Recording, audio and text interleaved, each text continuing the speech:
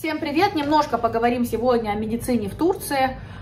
Ой, потому что, э, я думаю, это те, кто недавно, недали, давно здесь живет в Турции, э, немножко не понимают, что происходит, да, я расскажу немножко про врачей, про их квалификацию, здравоохранение и так далее. Что есть люди, которые нарываются на плохих врачей, некачественно обслуживающих, там, некомпетентных всяких, считают, что все, во всей стране все вот так происходит. На самом деле нет.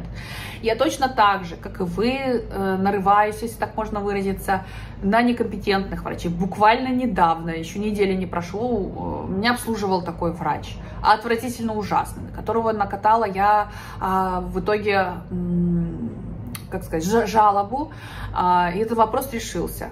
Смотрите, а, есть э, обслуживание, да, в частных, как в любой капиталистической стране.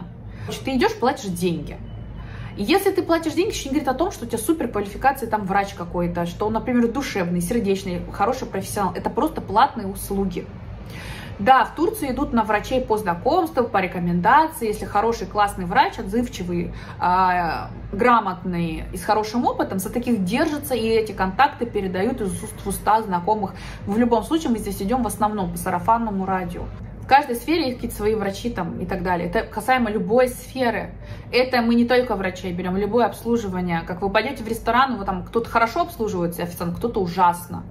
А, и, например, в одном ресторане очень а, одинаковое меню, но один повар работает, вот это история из моей жизни, да, идеально, офигенно, вкусно, пальчики оближешь любое блюдо.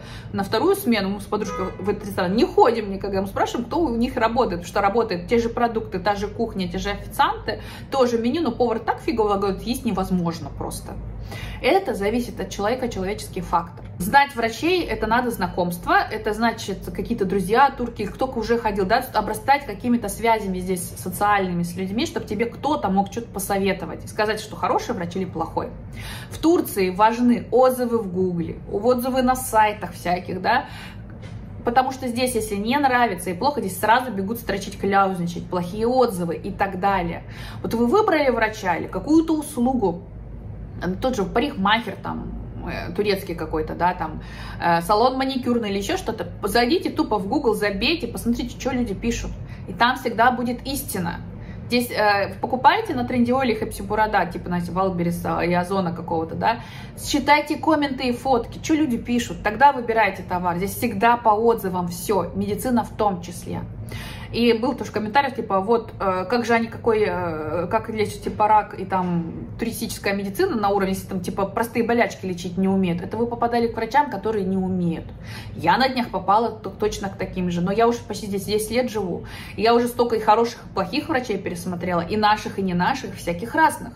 Как нарвешься? Тебе никто никогда никакой гарантии дать не может. Если ты платишь деньги, тебе это тоже не гарантировано что тебе будет супер какой-то врач именно хороший. Я вот вам честно скажу, я обратилась к доктору по щитовидке, троид-доктору. Забыла, как он по-русски называется. Короче, неважно. Я заплатила за прием по страховке, по СГК я заплатила тысячу лир. Э, а так он где-то две, наверное, стоил. Это еще до финансовых вот этих передряг. Сейчас, наверное, тысяча четыре прием стоит. Короче, это дорого. А, это уровень профессора, он никакой не профессор, просто в дорогой э, клинике. Отвратительно меня обслужили, вот просто вот так вот. Я, у меня было очень много проблем, я все выложила, я максимально старалась рассказать на приеме свои симптомы, что меня беспокоит, что мне очень хотелось найти решение проблем, что я уже просто погибала. Он даже мои симптомы слушать не хотел, им было наплевать. Он меня смотрел вот так вот пальчиком. Короче, это отвратительно было. Я офигела. Я ругалась на ресепшене, сказала, я к вашему врачу там больше не приду. Я сдала анализы, которые он нам назначил, тра-ля-ля. Короче, по его, э, скажем так, э, осмотру у меня все в порядке. Как оказалось, потом нет. А, и потом а, просто ищите, гуглите тупо, ищите в интернете. Я а, случайно чисто через Google нашла, что оказывается в Стамбуле, меня просили адрес, блин, загуглите, что мне спрашиваете, загуглите адрес, просто институт изучения рака щитовидки в Стамбуле существует, в азиатской стороне части. Просто записывайтесь на ресепшене, берете рандеву, первому попавшемуся врачу туда, я так сделала. Я попала на прекрасного профессора, который мне там брал пункцию и так далее, и так далее, а, пальцем в небо. И я закрепилась за этим врачом. Но так как он очень неудобно в азиатской стороне принимается, европейской вообще даже на машине не наездишься, только в выходной день, в субботу полдня еще Короче, это долгая история, я его контакты поэтому давать не буду. Это очень тяжело. Это ну, престарелый дедуля, он работает там условно на последнем вздохе, у него просто классный опыт и там легкая рука. Так я к тому, что существует целый институт э, изучения рака щитовидки. Может туда обращаться, если какие-то опухоли, раки и вся прочая история. То есть, пожалуйста, там узкие специалисты. И таких вот этих центров различных дофига по городу. Не, не ленитесь, поищите. Очень часто многие не хотят выходить из зоны комфорта, хотят возле дома, чтобы удобно было. Но за хорошим врачом в Турции, к сожалению, надо побегать. За любым, за узким особенно специалистом. Если нашли, держитесь за него. Что касаемо России, мне тоже писали, ой, да все у вас так хреново, фигово с медициной. Вот в России, я, например, вроде девушка писала в Питере, да, живет, хожу к врачам нормально, а, все бесплатно, по полису обычному, да, страховому, а, все замечательно. Это в России зависит от региона, где вы живете.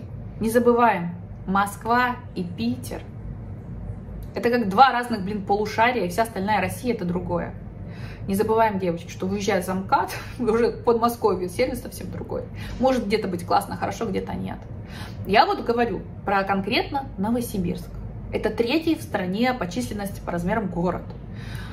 Эм, я 10 лет, когда ездила в Россию, что-то где-то просто смотрела, там массаж делала медицинский, там у меня мой невролог там был, пока сюда все это не перенесла, да, мои врачи. Я ходила тогда, уже 10 лет еще назад, а, в частную медицину, не в государственную. Уже тогда в Новосибирске было фигово, что-то трудно получить достойный уровень. Мои врачи, которые узкие специалисты, они были только частники. Да, они принимают э, в государственной клинике, там где-то сейчас государственная практика, это раз там в месяц или в два можно взять какой-то типа талончик, вы, ну, короче, целая дилемма взять. И вот на данный момент по медицине, я вам скажу, вот был ковид, и очень многих осложнения ковидные, это вылазили, скажем так, предрасположенности, да, хронические какие-то заболевания. И у меня очень много, к сожалению, знакомых и родственников, у кого после ковида нашелся рак различной степени. Очень много знаю людей, которые за последние два года, кто болел ковидом, умерли от рака в итоге, который вылез после ковида как осложнение после ковида, постковидное. Ну, то есть, кажется, спровоцировал, да, всю эту историю или усилил, скажем так, ускорил эти процессы. Очень много людей умерло. И вот эта тема онко, я видео, как говорила, я лекарства отправляю в Россию, покупаю онко, вся, я в этой теме. Потому что есть э, члены семьи, которые, а, слава богу, в ремиссии или там рак победили, а если кто не победил. И я знаю, как оказывается медицинское обслуживание онкобольным. А, например, в Питере в Москве и в Томске самые сильные онкоцентры у нас. А, вот Сибирь, вообще за Уралом все это Томск. Все, кто до Урала, едут в Питер. В основном тоже в Питере очень крутое отделение есть именно по всяким а, ракам желудка, вот этим внутренним органам. Если ты тупо хочешь жить, и у тебя нашли рак, быстро развивающийся, смотри, какая у тебя там стадия, ты за свои деньги идешь в частную туда, в Томск ложишься, короче, и лечишься. Назовем так без очереди государственный, вот оно есть, пожалуйста, в очереди. Доживешь ты свою очередь или нет, дождешься ты ее, ну, от тебя зависит. Вспомогательные все лекарства, типа аналоги всякие, да, они где-то есть, но их никогда нет в наличии. Это не сейчас, за пять месяцев последних, а последние два года я вам рассказываю. То есть ситуация с медикаментами, специалистами и так далее зависит индивидуально от места, где вы живете, в России в том числе. Точно такая же ситуация, как вот здесь у меня в Турции. Точно так же. Ты хочешь учи, лечиться, плати деньги. Ищи специалиста узкого. Хочешь, чтобы побыстрее. Не хочешь, иди к первому попавшимся, также и в частной клинике или в государственной, без разницы. Не говорю о том, что в Турции плохие врачи в государственных больницах. Да нифига, есть классные. И очень много. Очень многие пользуются государственной медициной, вообще никаких проблем нет. Я хочу отметить, что это нормально. И так в многих странах, и не только в Турции. И я на днях обслуживала ужасного врача, который неправильно диагностировал заболевание, неправильно назначил лечение. Да мне хорошо, что у меня есть медработники в семье, которые могут подкорректировать всякое лечение и тому подобное. Отвратительное обслуживание было, неправильно подобранное, напомню, лечение. Запустили там болезнь несколько дней, пошли ухудшения и так далее частной клинике за деньги. Я же не иду, не оруша. Все говно, ужасно лечиться, как вообще отвратительно. Вот у нас там так классно на родине, здесь такое фу, б. Я прекрасно знаю, я видела просто по обслуживанию, что это плохой врач. Я уже знаю, как это видеть. Отношение какое, как она смотрит, вопросы никакие не задает по самочувствию, просто, на, по, просто тупо по схеме. Такая-то температура, такой-то симптом, все, до свидания. Капельница, там вот вам антибиотики тому подобное. Чего, кого вообще не всматривается. Анализы, я просила анализы назначить. Крови, говорю, хоть возьмете, блин, посмотрите общие, общие показатели. Вы, говорю, капельницу ставить, чего там ставить будете? Ну, вот такой у нас разговор был. Естественно, я этому врачу не понравилась. Вопросов много задаю, слишком, блин, умные тут всякие, анализы вам надо еще, блин, бери, что дают, короче, да, за свои деньги, по сути. И когда я потом с ухудшениями вернулась через несколько дней, и я нарвалась, скажем так, случайно абсолютно в коридоре на менеджера в больнице, который дежурный был, назовем так, замдиректора. Я как выдала, говорю, сейчас я вам говорю, он такой, пойдемте сразу в кабинет. Просто орать тогда уже начала, что, говорю, это что-то, говорю, такое, блин. Только хуже становится мне, что у меня уже госпитализация, по сути, показанная. Еле ноги таскаем. Короче говоря, извинились. Не знаю, где там этот врач, что будет с ним. Я думаю, это не первая уже жалоба, потому что лицо было у менеджера понимающее, типа он в курсе, что происходит и так далее. В тот день, короче, любые мои анализы, а, госпитализация другого специалиста мне дали. Все это в тот день было для меня в частной клинике бесплатно. Так сказали, вот для вас сегодня все бесплатно. Делайте вообще, что хотите, к любому доктору идите. За наш счет все. Ну, потому что там заболевания, короче, запустили состояние и так далее. Чтобы я не пошла в суд там и не писала плохих отзывов. То есть клиент ориентированно с очень хорошо побеседовали. Я осталась, назовем так, с компенсацией довольна. Вот, это все индивидуально. А, есть везде хорошие и плохие врачи и везде по всяким там знакомствам, советам и рекомендациям и так далее. Есть везде. То есть мы уже настолько дошли с мужем, что мы любую болезнь, что-то, симптомы, мы все гуглим. Мы не лечимся по Гуглу, но мы проверяем в Гугле симптомы и так далее. То есть так, именно адекватность врача. Потом я обращаюсь к своим врачам в семье на родине у себя, звоню там т-т-т, и они мне уже тогда вердикт точный. Так, врач компетентный, нет, можно, правильно ли назначает решение, правильно ли что-то говорит и так далее. И все окей тогда. Вот у нас вот такая постановка. Врач, так мы потом его слова перегугливаем, проверяем. Потом я проверяю через своих родственников. Мне говорят, а, окей, даю добро, так можно лечиться. Вот так вот нельзя, или там хрень какую-то вам несет, вот это не делайте и так далее. Пишите ваши комментарии, что вы думаете по этой истории, по этой теме врачебной. Я считаю, что это просто издержки капиталистического образа жизни, строя и так далее.